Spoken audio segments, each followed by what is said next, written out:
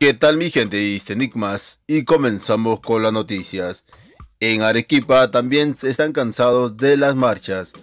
Tras bloquear las carreteras un grupo de manifestantes, los ciudadanos arequipeños salieron en defensa del orden público y expulsaron a los manifestantes. Los ciudadanos arequipeños quieren trabajar. Este fue el lema que dijeron los propios arequipeños en medio de abrir las carreteras para que pase los camiones, buses, autos que estaban atascados varias horas.